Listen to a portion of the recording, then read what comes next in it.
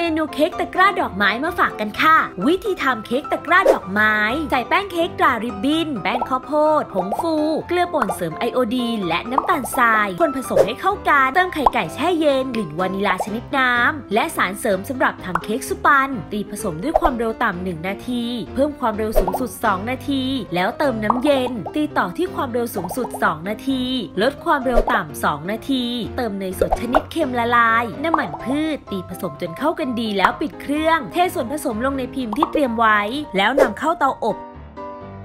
เล็มบริเวณส่วนบนของเค้กออกทั้งสองก้อน จากนั้นวางเค้กชิ้นที่ 1 ทาด้วยบัตเตอร์ครีมสูตรที่ชอบ วางประกบด้วยเค้กอีกชิ้น แล้วปาดบัตเตอร์ครีมให้ทั่วเค้ก ตกแต่งด้านข้างด้วยฟองดองสีเขียว ปั้นเป็นแท่งก้านดอกไม้ ตกแต่งด้านบนด้วยบัตเตอร์ครีมหลากสี เป็นรูปดอกตามชอบให้สวยงาม พร้อมเสิร์ฟค่ะ เรียบร้อยแล้วค่ะ กับเมนูเค้กตะกร้าดอกไม้ แค่มีผลิตภัณฑ์ TFM ติดครัวก็อร่อยกันได้แล้วละค่ะ